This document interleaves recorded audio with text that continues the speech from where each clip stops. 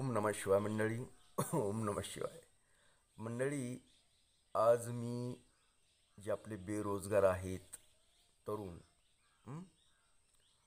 त्यांच्यासाठी काही महत्त्वाची गोष्ट सांगणार आहे. तर काय आहे की बरेच जण जवळजवळ मला दररोजच काय होतं फोन करतात की मला नोकरी नाही नोकरी नाही. कुणीतरी म्हणतं की मला धंदा जमत नाही धंद्यात यश नाही असं तसं. पण नोकरीच्या संदर्भात खूप फोन येतात मेसेज येतात. दररोज कितीतरी. त्यांच्यासाठी हे. तर एक त्यापूर्वी आपण एक गोष्ट ऐकूया. म्हणजे काही गोष्टी तुम्हाला समजा ह्या गोष्ट ऐकून तुम्ही दुखवाल बी जाल पण एक गोष्ट तर ऐकायला काय अडचण नाही तुम्ही? ऐकून घ्या. जी काय होईल ती होईल. बघूया आपण काय. तर गोष्ट अशी आहे की एक रा राष्ट्राध्यक्ष अ, लिंकन नावाचं काहीतरी म्हणजे मला काय नेमकं माहीत नाही पण त्यांची गोष्ट ही. तर ते राष्ट्राध्यक्ष झाले.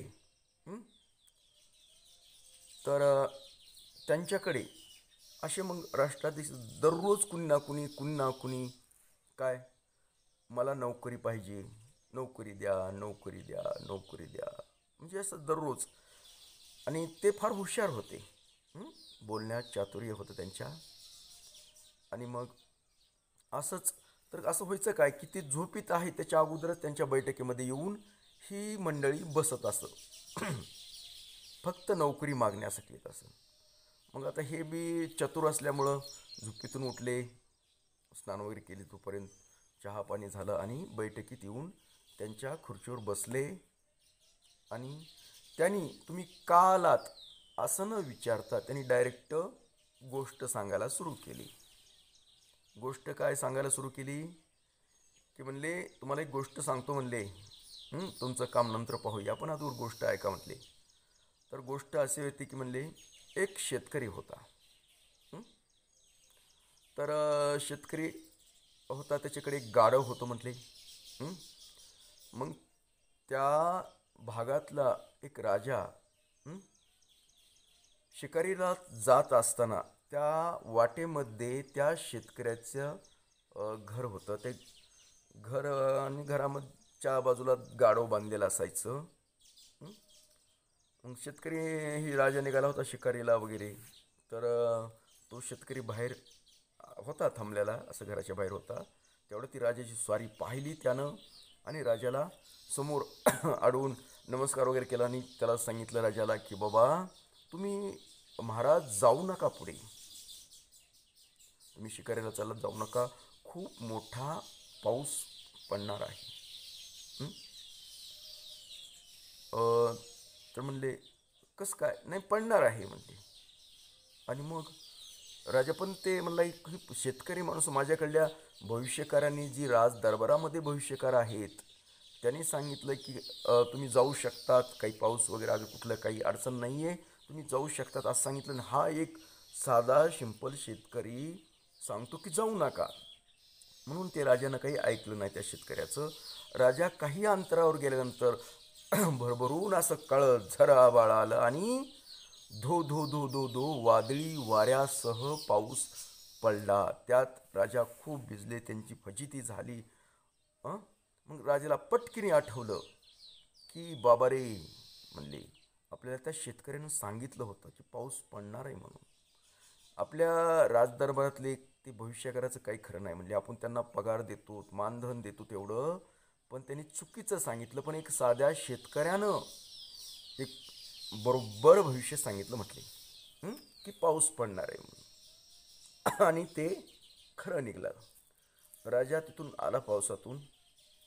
त्याच्या दरबारात आल्यानंतर त्यांच्या काही शिपायाला वगैरे सांगितलं की बाबा रे जो आपण शेतकरी पाहिला होता वाटेमध्ये त्या शेतकऱ्याला घेऊन या म्हणले तुम्ही. ते शिपाई आले म्हणले तुम्हाला महाराजांनी बोलवलं आहे ते राजाला बोलवलं असं म्हटलं की तो थरथर थरथर थर कापायला म्हणले का? काय झालं? नाही नाही म्हणले तसं काही नाही म्हणले. तुम्हाला त्यांनी बोलवलं आहे चांगल्या ह्याच्यासाठी. तुम्ही काल भविष्य त्यांना सांगितलं की पावसाबद्दल ती पाऊस पडला. म्हणून त्यांनी त्या संदर्भात बोलवलं आहे. मग तो गेला तिथं मग राजानं बसायला आसन दिलं. आणि त्याचा आदर सत्कार वगैरे केला. आणि प्रश्न केला. म्हणजे शेतकरी बाबा तुम्ही एवढं बरोबर भविष्य कसं काय सांगू शकतात? म्हटले.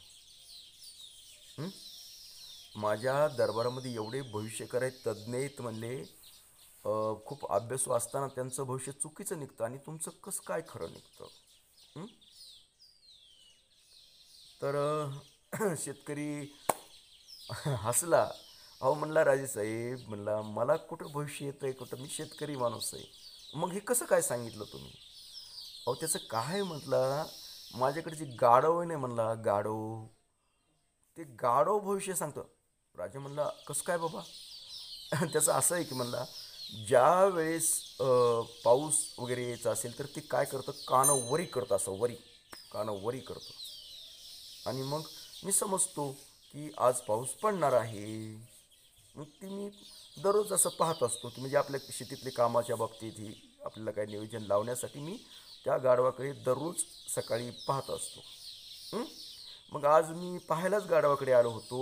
त्यानं कानं वरी केले होते. आणि तेवढ्यात तुम्ही दिसला तुमची स्वारी दिसली म्हणून मी तुम्हाला सांगितलं की आज पाऊस पडणार आहे.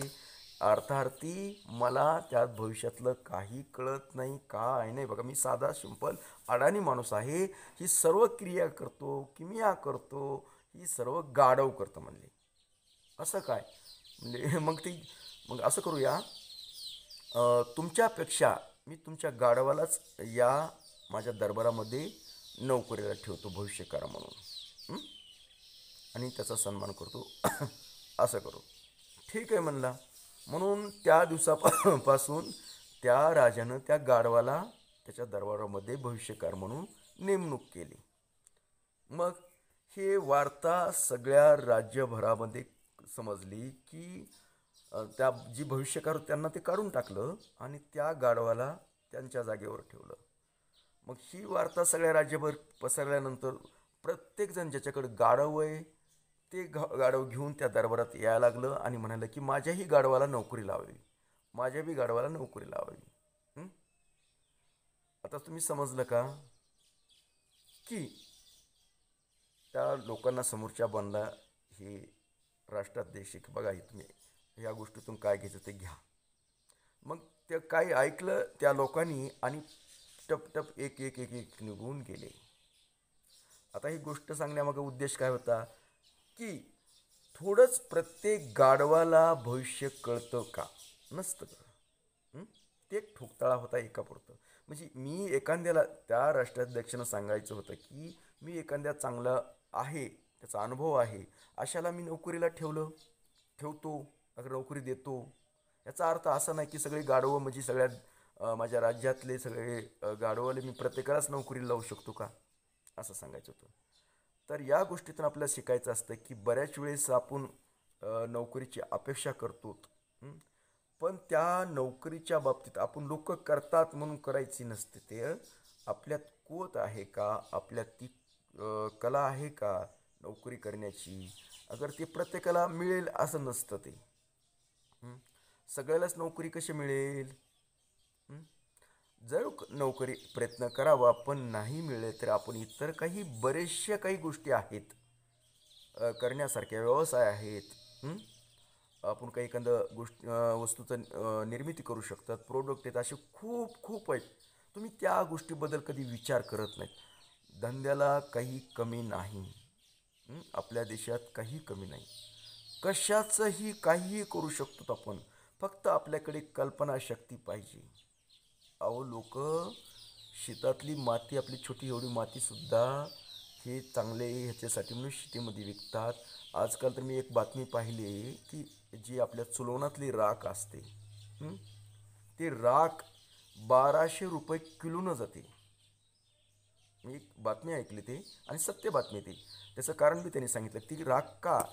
जी गवऱ्याची म्हणजे शेणापासून जी गवऱ्या करतात त्यांनी त्याची राख करतात ती राख फार महत्त्वाची आहे. कारण तुम्ही जी भांडे घासतात घरामधले ते आपण रासायनिक प्रक्रिया केल्याने ते भांडे घासतो. बऱ्याच वेळेस त्याचा अंश हा भांड्याला राहतो. आपण जेवताना त्याच्यात अंश आपल्या पोटामध्ये जाऊ शकतो आणि काही विकार आपल्याला होऊ शकतात. ही जी नैसर्गिक आपण पूर्वी कसे लोक भांडे घासण्यासाठी त्या चुलीच्या राखेचा उपयोग करत होते.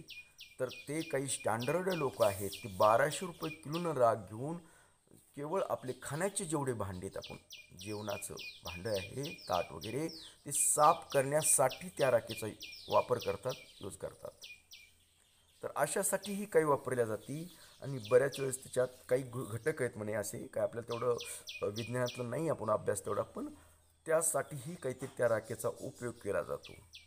म्हणजे जे का आपण टाकून देतो जे कचऱ्यामध्ये आणि ती राखेचा आज हे भाव आहे.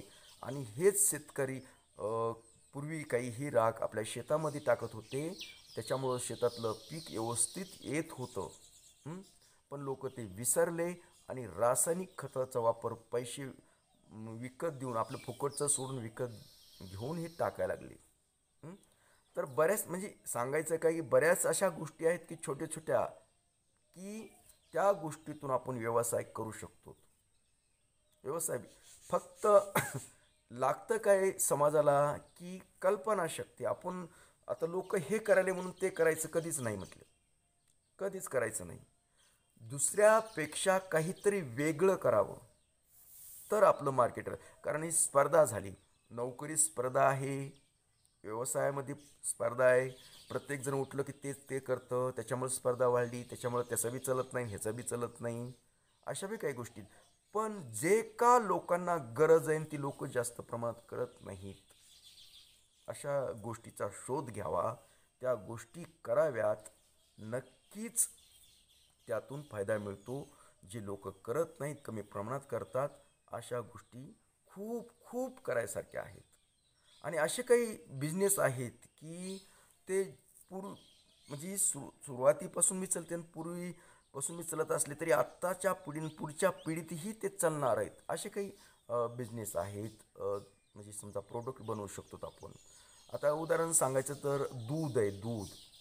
हा? दूध पूर्वीपाशी पासून बी चालते आपण खातो ते दूध वापरतो.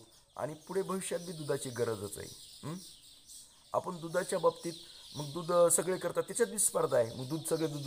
पण नाही. तुम्ही दूध आता दूध देण्यामध्ये जी व्यक्ती असते जी दूधवाला असतो त्या देण्यामध्ये सुद्धा खूप काही आपण दुसऱ्यापेक्षा काय देऊ शकतो चांगलं? हे बघा. काय?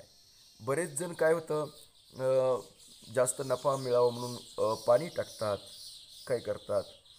तर आपण न पाणी टाकलेलं शुद्ध दूध किंवा जेणेकरून ह्याच्यात कसल्याही प्रकारचं पाणी तुम्ही चार पैसे मागून घ्या त्यांना. क्वालिटी द्या त्यांना. लोक क्वालिटीवाले आहेत. पैशावालेत खूप लोक पैसेवाले आहेत. पैशाला कमी नाही लोकांकडे. खूप आहे. तुम्ही दुसऱ्यापेक्षा चांगलं जी पाणी टाकून त्याचा जी भाव आहे त्याच्यापेक्षा तुम्ही तुमचं भाव ते पाण्याच्या ऐवजी तुम्ही भाव लावा एक्स्ट्रा आणि चांगलं दूध द्या.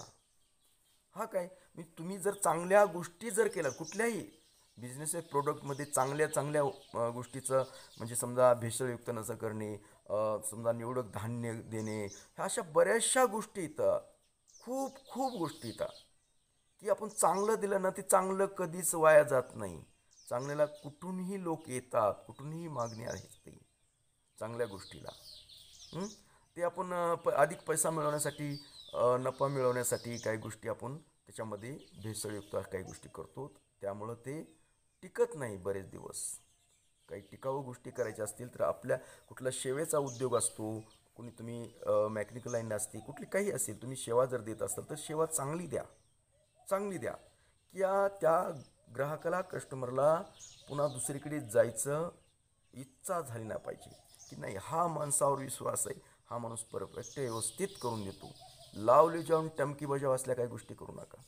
कुठलीही सेवा करा काय तुमच्या दुकानात असते काही जी असेल त्याच्यामध्ये तुम्ही उत्कृष्ट दर्जा द्या त्यांना क्वालिटी द्या सामानात द्या अथवा तुम्ही तुमच्या बोलण्याच्या ट्युनिंगमध्ये लोकांना आपलंसं करा अशा बऱ्याचशा गोष्टी करून आपण स्पर्धेमध्ये टिकू शकतो. ते नोकरी नोकरी नोकरी काय प्रत्येकाला नोकरी नोकरी तितक्या काही सोप्या राहिल्या नाहीत. नोकरी पाहिल्यासारखं राहिलं नाही. तर ते नोकरी जरी नाही लागली तरी आपण उद्योग चांगल्या प्रकारे कुठला व्यवसाय करू शकतात. काही अडचण नाही तुम्ही फक्त मनामधून श्रद्धेनं आणि जे तुम्हाला आवडतं सगळ्यात महत्त्वाचं म्हणजे जे आवडतं ना तुम्हाला स्वतःला तेच करा. उगं दुसरे कुणीतरी काहीतरी सांगतात म्हणून करू नका. आपल्याला जे मनात वाटतं की हे करावं कारण त्यावेळेस कंटाळवाना येत नाही आपल्याला. कंटाळा वगैरे येत नाही. आणि आजकाल ही बऱ्याच वेळेस ऑनलाईन ऑनलाईन चाललं आहे ना हे तात्पुरत्या गोष्टी असतात. हे टिकाऊ गोष्टी नाहीत ऑनलाईन आज ऑनलाईनमध्ये अगर कुठले जरी व्यवसाय करत असतं आज आहे पण उद्या ती नाही. कारण त्याच्यात खूप काही वेगळं बदल होणार आहे. मग तो बदल करून घेण्याची क्षमता जर तुमच्याकडे असेल तरच करा. नाही तुम्ही तेच तेच करत बसलात तर नाही तुमचा चालणार. कारण हे कालावधी व्यवसाय कुठल्याही व्यवसायाचा कालावधी ठराविक राहायला लागला आहे त्याच्यामुळे तुम्ही प्रदीर्घ काळापर्यंत म्हणजे तुमच्या पिढीला पुढे चलल असा उद्योग निवडा. आणि ते करत राहा खूप काही खूप छो आणि कधी छोटा मोठा असं काही मनात समजू जाऊ नका. उद्योग छोट्यातूनही मी पाठीमागं पाहिलं एक नगरला एक बरेच दहा पंधरा वर्ष झालं. एका वडापाववाल्या वडापाववाला होता त्याच्यावर धाड पडली होती इन्कम टॅक्सवाल्याची मी बातमी वाचली तू प्रत्यक्ष मी नगरला गेले आणि तो इलाका पाहिला तो गाडा पाहिला मी सर्व ती पाहिलंसुद्धा होतं त्यावेळेस. कारण काय होतं हे अशा गोष्टी जर तुम्ही बघा साधा वडापाववाला इन्कम टॅक्स चुकवतो म्हणजे याचं उत्पन्न किती असू शकतं? याचा विचार करा तुम्ही. छोटंच वाटतं का नाही आपलं वडापाव विकणं? असे हॉटेलिंगमधले आहेत खूप अहो चहावाले आहेत खूप काही काही असे चहा फेमस आहेत की तुम्ही एक एक किलोमीटरमधून चहा पिण्यासाठी येतात त्या ठिकाणी. कुणी काही समजा काही पान मटेरियलवाले इथं पान बनवतात काही पान बनवण्याची पद्धत आहे त्यांची काही पुड्या बनवण्याची पद्धत आहे. त्यांच्याकडे सुद्धा त्यांची पुडी अगर त्यांचं काय पान आहे ते त्या पानासाठी एक एक किलोमीटरहून येतात तर आमच्या औरंगाबादकडे समजा तारा पान सेंटर म्हणून आहे. खूप प्रसिद्ध आहे. हिरो हिरोईन मोठे मंत्री तंत्री संत्री. सगळे पान खाण्यासाठी येतात. पाच पाच हजारापर्यंतच्या पुढचे पान आहे त्यांच्याकडे.